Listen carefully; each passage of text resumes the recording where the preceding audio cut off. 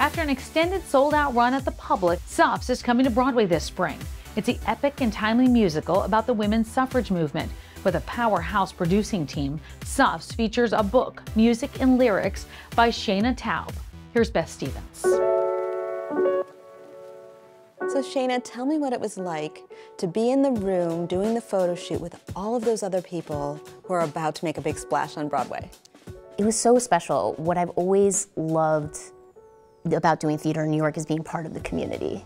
It really feels like I got my start doing community theater in rural Vermont, and it feels in a way, even though the stakes feel higher, it hasn't changed. That like communal spirit, everyone is doing theater because they love it, for the love of the game. So it's so so fun to like meet other people who are as excited as I am, and to be a part of a, a something bigger than just our one show. You have had so many accolades and albums, and but now it's Broadway, finally, which feels to me like a really big step. Does it feel that way to you too?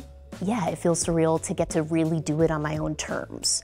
It's always been a dream, but I don't think I ever imagined it would be with my own show, really getting to say the thing I wanted to say, so that's really meaningful.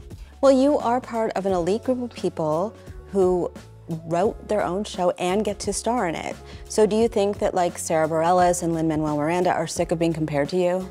Oh, please. Oh my God. What, what an honor to even be spoken in the same sentence as those two.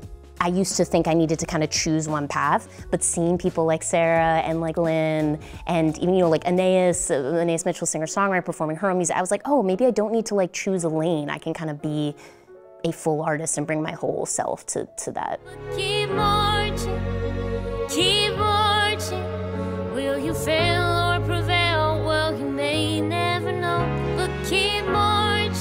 So I know you worked on this show a lot, but tell me if you can bring us back to what sparked the first idea for you for when you wanted to work on this piece? Yeah, well, one of our lead producers, Rachel Sussman, sat me down almost 10 years ago this spring and asked me what I knew about the American women's suffrage movement.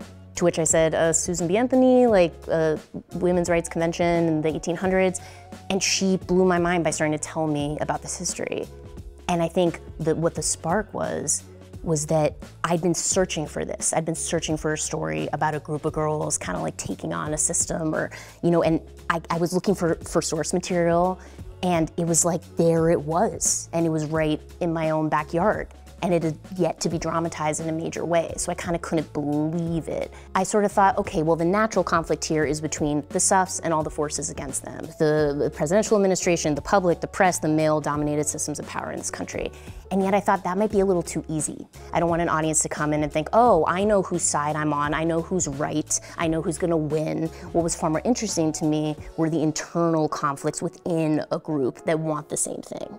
Between the older Suffs, the younger Suffs, between Suffs of different race, class, uh, political affiliations, all sorts of things. So I was like, ooh, that's where the juice is, of where it's not so simple, you know, so that, that got me excited, that I could also locate the story centered even more on the women if the central conflict was between the women.